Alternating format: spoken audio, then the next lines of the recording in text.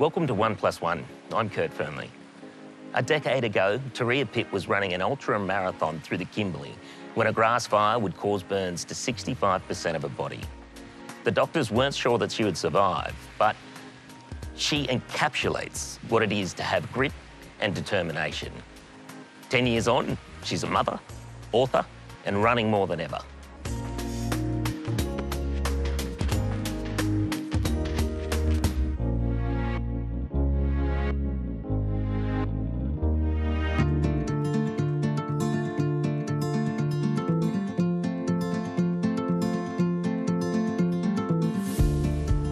Goes through your head when you're running? Usually, like, it's just a nice voice going like, good job, you're doing this. Well done, just gotta get around the corner, girl. But like sometimes I'll be like, oh, you look like an idiot. um, you know. Mi- mine's a punished voice. Mine is a, you should be going faster. yeah, my God, your voice sounds scary.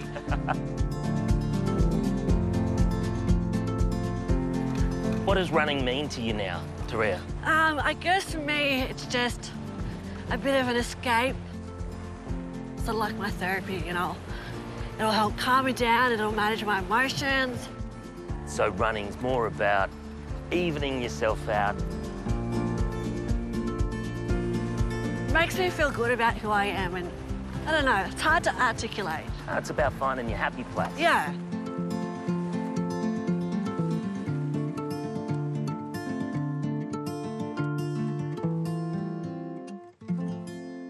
Turia Pitt, welcome to One Plus One. Thank you so much for having me. It's so lovely to be here with you. What role does running play in your life now? I think, like, when I was training for Ironman, it was more about challenging myself and making sure I hit those markers during my run and making sure I did it in certain times and everything. But now, you know, as a mum of two, it's just about carving out a little fraction in the day for myself. And I know that when I leave, I might be in a shitty mood and I might feel really annoyed at something, but I'll go out and after five minutes, I'll I'll feel myself start to relax and start to unwind, and start to enjoy the process of just running. And then when I come home, I'm just I'm in a good mood. I'm happy. I'm lighthearted. I'm more joyful. So I think for me, it does make me a better parent. Was there a time where you thought you wouldn't be able to enjoy that, where, where you wouldn't be able to run? Well, yeah, because you know, in hospital, I couldn't even wipe my own ass. You know, I couldn't stand up by myself. So I thought, well, if I can't stand up, how the hell will I be able to walk again, run again, go back to work, compete again, have a family with Michael? And so, really, in those early days, I guess there, there was uncertainty around what my future may or may not look like. How long did it take for you, for you to get through that uncertainty, to, to know that you were going to be able to live the active life that you're, you're living now? I think sometimes there's, there's still uncertainty, right? Because, you know, in those days when people would try to, I guess they tried to temper my expectations. So they would say, you know, you might not be able to do all that, those physical activities that you once enjoyed, but um, on the upside, you might drive again, you might get a job, you might even get married. And so for me, it was so immensely frustrating because it was like the bar had just been set really low and you know it was almost like i had to be happy with just doing those simple everyday tasks that most people would take for granted I was told as a kid that I might be able to push buttons in a lift. And I remember that day Yeah. when Mama, uh, they called me over and asked me what I, what I wanted to be, and I said I want to be a firefighter. And I remember them telling Mum and Dad that, well, he might be able to sit in a lift and push buttons. What, what, what does that do to someone, that, that low bar? it's hard right i think i was lucky because i i I had a really supportive base. I had Michael, my partner. He was he was my rock. He's been my rock throughout my whole journey. I had my mum, who was with me in my in the corner. I had my brothers who were there every day, you know, and they would say, "Teree, you can do whatever you want. If you want to go do an Ironman, like get out of bed. Let's go training. Let's go get you working towards that. Yeah, you're going to be able to run again. You're going to be able to surf again."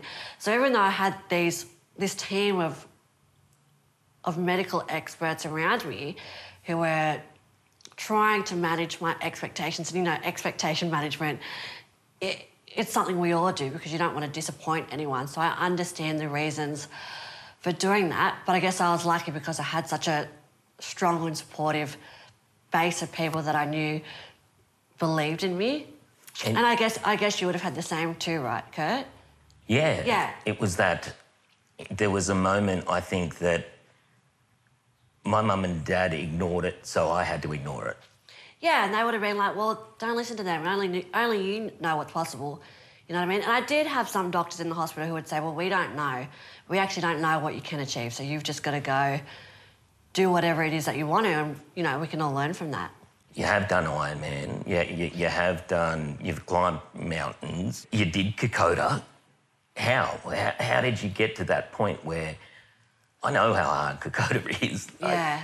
It's kind of my personality, right? When someone tells me I can't do something, it's just like waving a red flag in front of a bull. I know. I know nothing of that. You know, so like when, when they tried to manage my expectations, I was almost like, well, fuck you. Like, what would you know? I'm going to go do an Ironman. I'm going to do all of these things. And so I think that was part of the initial motivation for me to want to do these crazy things. But once I did the World Championships of Ironman, I was like, well, I've done it now. Like, I don't, I don't have anything else left to prove almost. But then I fell pregnant with my first son, Hakavai. And I remember I thought, once I get this baby out, I'm going to get straight back into Ironman. I'm going to do something crazy again.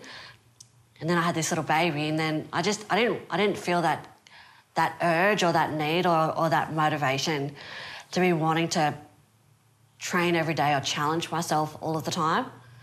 But I, I did do a 30 kilometre mountain run after I had Hakavai. But, and when I told people I was doing that, they, they said, oh, you know, that's not really that hard compared to what you've been, what you've been through or what you've done. But I think that's an important lesson for goal setting though, right? Because I think you can't, you can't compare yourself to what everyone else is doing and you can't compare yourself to what previous versions of yourself might have been able to done. I think if it's a challenge for you, then that's that's enough. What emotion do you feel when you cross that finish line in an Ironman, or when you get to Owers' Corner at Kokoda? Re- relief. relief, like just this feeling of like ev- everything just gets sucked out of me. And I'm like, oh, oh, that's so good. I don't have to do anything like that ever again. But I, I generally do. Yeah, generally do. Yeah. But I haven't this past year though, because I had a, I had another baby, and then COVID hit. So I was, you know, it was last year was for me an enjoyable year because I I had this beautiful little baby that I got to spend so much time with, and it was more about relishing that the slowness of life. I realised who you were from the very first story that I ever heard about you. That there was a, a young woman in the north of Australia who was going to do an ultra marathon with two weeks preparation. I've done, I've done 80 marathons.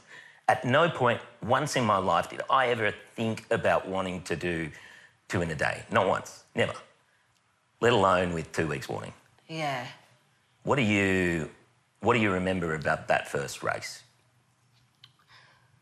Well, I guess I was obviously really excited because I, I love um, competing in things. And, you know, we all got the bus out to the start of the race and everything was happy and fine and normal. And I started running. And then there was one checkpoint about 10 kilometres and then the second checkpoint, which was about 20 kilometres. And then about a quarter of the way through the race, so at the 25 kilometre mark, I remember hearing what I thought were road trains, right? And I thought, oh, that's great because that means I'm close to the next checkpoint because I knew the next checkpoint was just over the other side of the highway. And that sound of those road trains was, wasn't road trains at all. It was the sound of a raging inferno that was going on in the gorge beneath me. Do you remember what happened after that? Like, it- Yeah, yeah, yeah, yeah. So there was there was six of us there at the time. We had two choices. We could go back the way that we'd come, but that would mean going through shoulder high grass, so perfect fuel for the flames, or we could go up the side of the gorge, which was rocky. Um, and had less vegetation, but fire travels faster going uphill. So both of our options were sh- pretty shit. Um, and I chose to go up the side of the hill. I chose to run up the side of the gorge. The runners were taking part in a three day, 100 kilometre race through the remote Kimberley region on Friday when fire tore through the area. Michael Hull and three other competitors tried to run away from the blaze but eventually became trapped by the wall of fire. What we did instantaneously was just stop and just ran back in through the wall of flame because we knew that the, the flame, though that was high, um, when you're on the other side of it, there was nothing left to burn. 35 year old Kate Sanderson and 24 year old Turia Pitt are still fighting for their lives in hospitals in Melbourne and Sydney. How often do you think about that day now?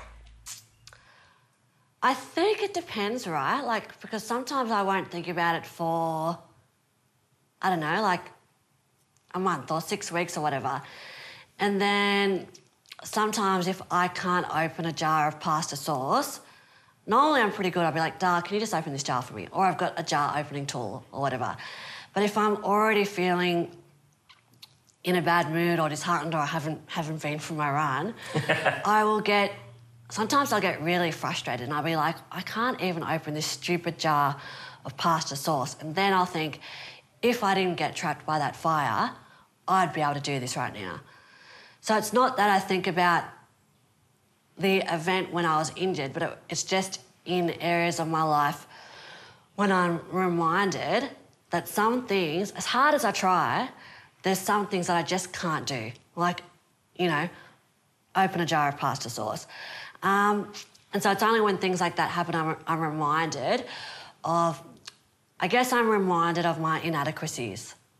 And that, that hurts. That hurts my ego. Because I'm a, like a proud, strong, motivated, determined individual. And when you realise that there's something you can't do, and it's not something like finish a 30 kilometre mountain run or finish an ultra marathon or finish an Ironman, it's something really simple that most people can do. I find that really frustrating.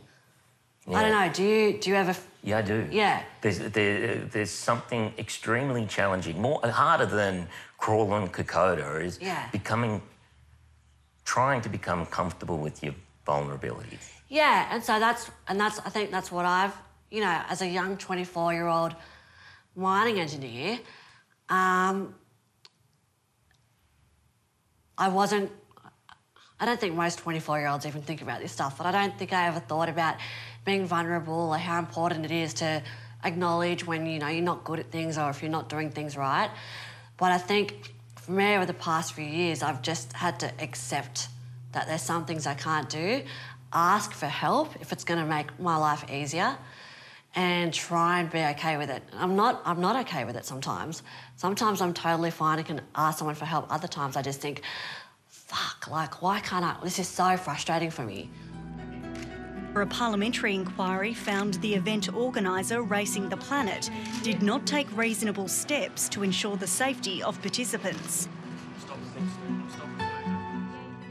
Talk us through the amount of recovery it took after after that. Um, I don't know what to say. Incident after the after Yeah. the, the day After that catastrophic bushfire, after that one. Yeah. uh, recovery was. Oh, that was that was. I don't even know how to describe it because it was literally pretty much just Michael and my mum every day.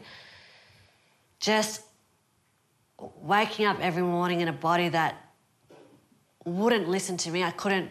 I couldn't even bend my elbows. So I, they were ossified. They were out here, so I couldn't.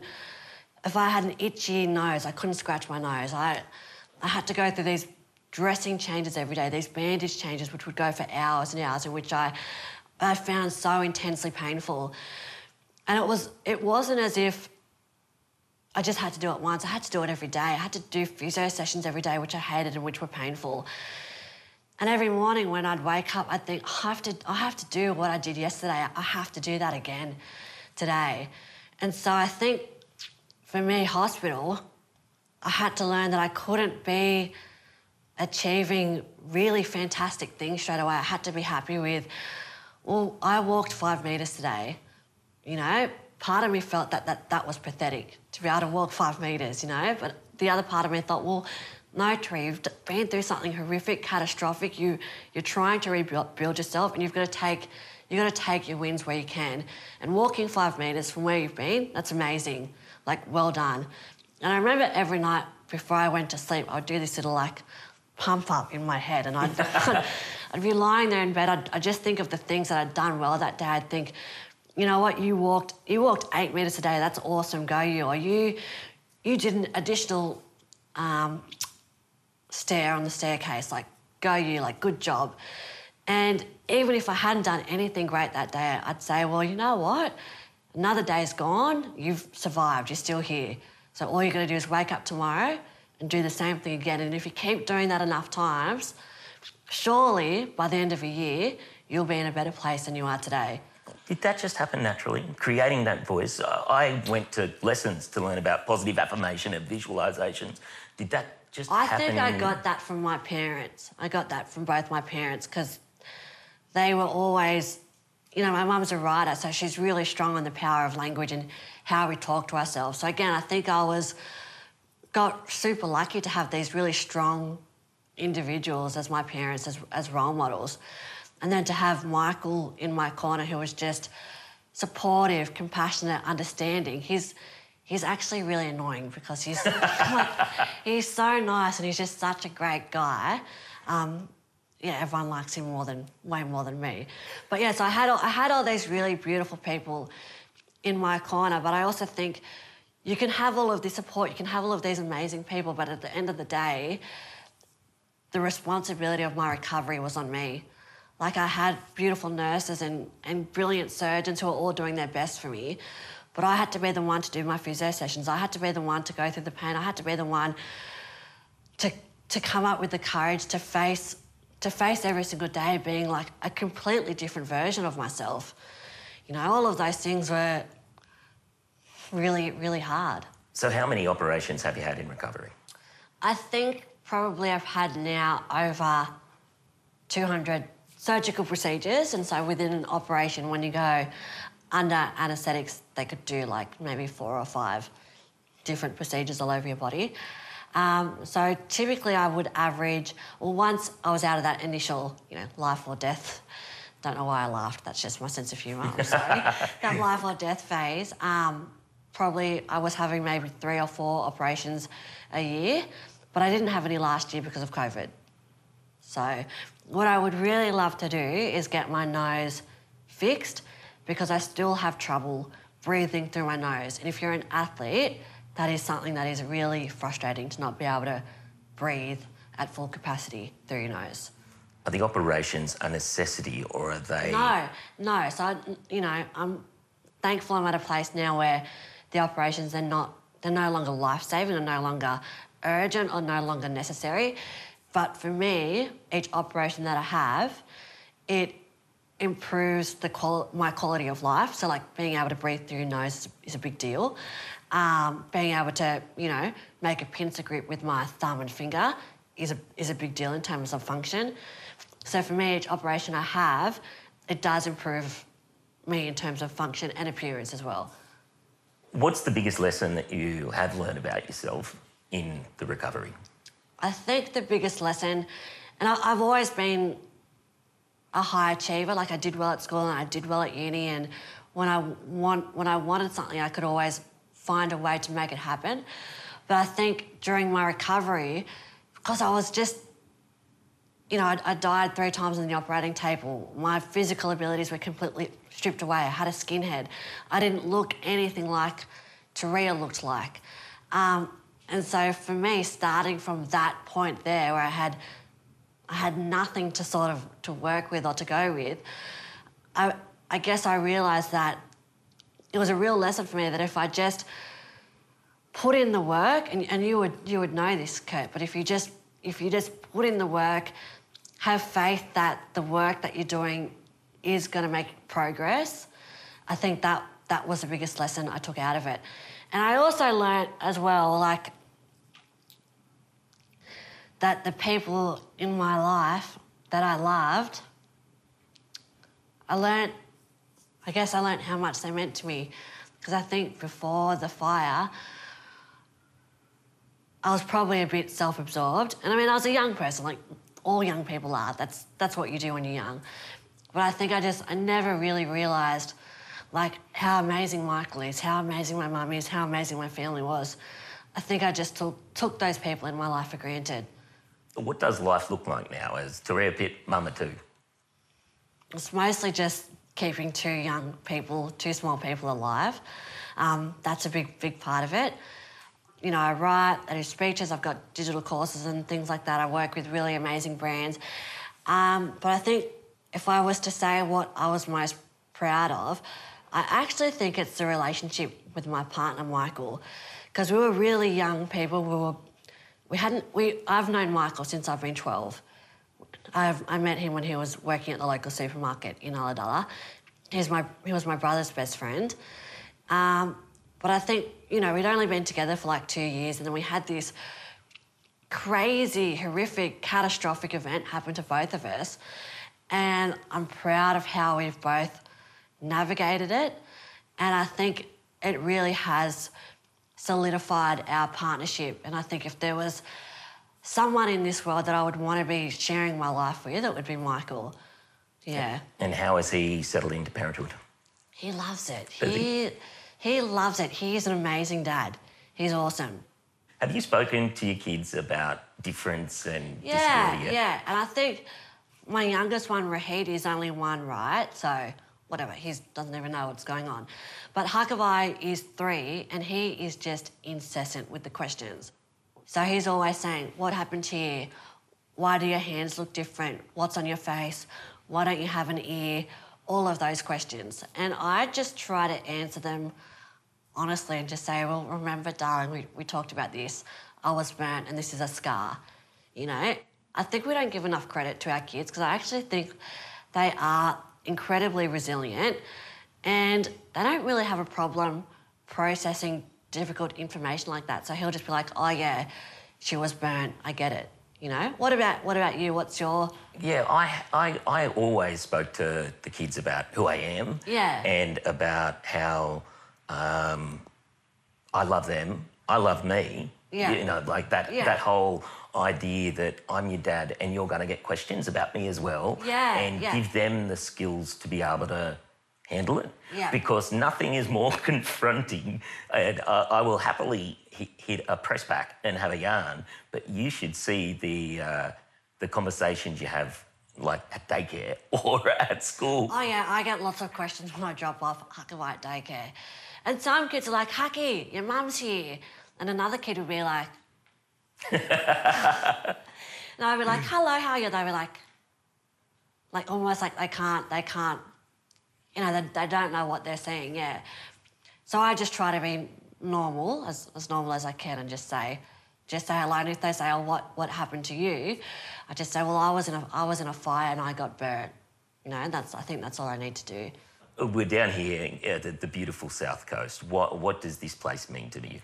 Well, this is going to sound a bit tragic, but this is a place where I grew up. So I went to Ulladulla Primary School. I went to Ulladulla High School. Um, this is where I grew up surfing and exploring and being active. I think it's a beautiful thing knowing that you've got, you know, those people around you that believe in you and support you. And I think from this beautiful community of mine, I've never felt anything but love and encouragement and support and feeling like people were, were really in my corner and really, really backing me. I mean, when I had my accident, some girlfriends down here organised a masquerade ball for me. That was in deference to me because I had I was wearing my compression mask. You know that that ball raised sixty grand, which is amazing amount of money for such a small community, and I think that's just a demonstration of how people down here help each other out and support each other. And I remember when the fires were on um, last year down here, they were really horrific. We had fires burning all around this area. And I think it's, you know, in times of crisis that people really, really step up to the plate, they step up to the fore. And I really saw that again when we had the fires down here. How did you handle that? There was smoke every day. Yeah, it was pretty triggering. I've got to be honest, it was pretty triggering. And I felt about as useful as a broken zipper in a wetsuit because I wasn't organising any food drops. I wasn't, you know, evacuating any neighbours from nearby towns. I was eight months pregnant. I had my toddler at home. And that whole time, it was hard for me because I was, all, I was just thinking about the fire that I'd been in and how these fires were triggering me every single day. And I think what I did, which was a, real blessing for me, is that a girlfriend came over and we created something called Spend With Them. I don't, I don't know if you ever saw it, but it was just an Instagram campaign where we profiled businesses from fire affected communities. So if you had a business in the town of Mogo, which had been badly burnt, we would profile your business on the page. Then people all over Australia and all over the world could find out about your business, um, buy something from you, support you know the town morale, boost the local economy, and put money in the hands of people who really, really needed it at the time. And that, for me, was such a good thing because instead of me thinking about how terrified I was during these fires and how triggering they were for me, I was like, oh man, we've got to enter this business into the database and get them on the spreadsheet and get them profiled. And so it shifted my focus away from, you know, how these fires are affecting me into doing something positive for my community. It's been it's been ten years since the since the accident. Mm. What do you think your life would look like ten years from now? I don't know. Um, There's got to be something out there that you're got in the back of the mind thinking, I'm going to get that. I don't know. Like, I feel. I'm going to use this word. I feel abundantly happy right now. I'm I feel really and this sounds really sickening as well, but I feel really blessed with my family that I've created and with the work that I get to do on a daily basis. For sure, there's heaps of cool stuff that I'd love to do. I would love to sail a boat like traditional Tahitian navigators. I'd love to do Iditarod, that, you know, that Alaskan sled dog race across the top of Alaska. I would, um, I'd love to do the Burke track. It goes from, you know, Melbourne up to Darwin. I'd love to, like, run that wouldn't that be cool? So all of these things I would love, all of these things I'd love to do, and I always see things, and I'm like, that would be awesome to become a professional salsa dancer. Like that would be amazing to be able to do that. Um, so I don't know. For now, I'm really busy though with my kids. Terrific. Thanks for the run and thanks for joining me on One Plus One. Yeah, thanks so much for having me. I've really, really loved speaking with you.